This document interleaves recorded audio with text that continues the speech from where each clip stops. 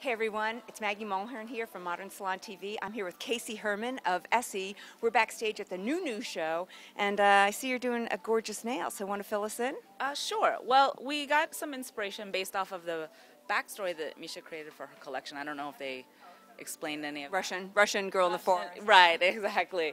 So, um, what we did was we decided to take a couple of the colors that are, I would say, more traditionally thought of kind of punk rock with the black, the licorice color, and then a little rock and roll with a dark. It's a dark green. It's a Stylenomics. This, this is a newer color, and um, what we came up with was uh, nails that were really understated but a little bit edgy, cool, just like the girl that would be wearing the collection. So what we did was we took the Stylenomics and the licorice. We alternated nails.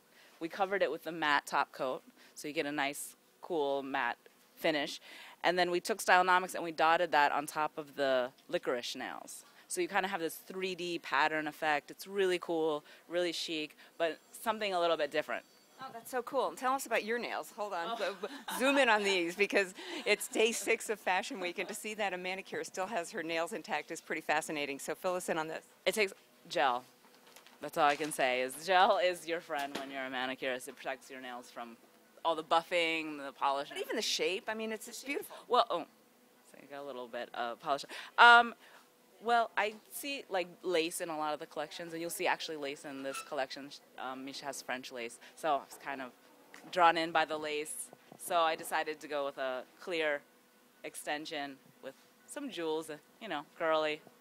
And some nice and so girly and so girly and lacy and, and blingy. It's so nice. Anyway, have a great you. show. Thanks Thank for the time. Thank you so okay. much.